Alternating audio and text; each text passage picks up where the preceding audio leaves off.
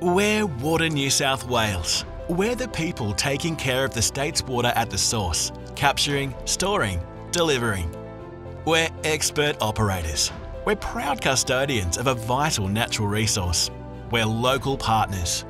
We operate the state's dams like Warragamba, Burrendong, and Chaffey using our knowledge of nature, science, and engineering. We then supply that water ready for distribution for the environment, agriculture, industry, and the community. We play a vital role delivering two thirds of all water used in New South Wales. We operate 41 major dams and hundreds of waterways across the state. We also play a role at the source of vital information.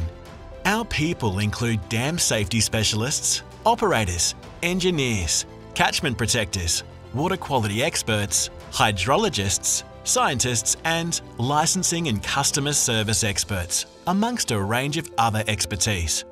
We work with a vital natural resource.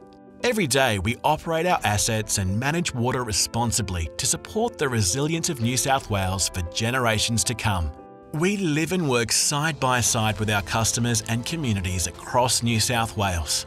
While we deliver the state's water from the source, it's ultimately our customers, like Sydney Water and local councils across regional New South Wales, that treat and supply the water to households. In this sense, we're at the source of the state's water. We're not at the taps. So that's us.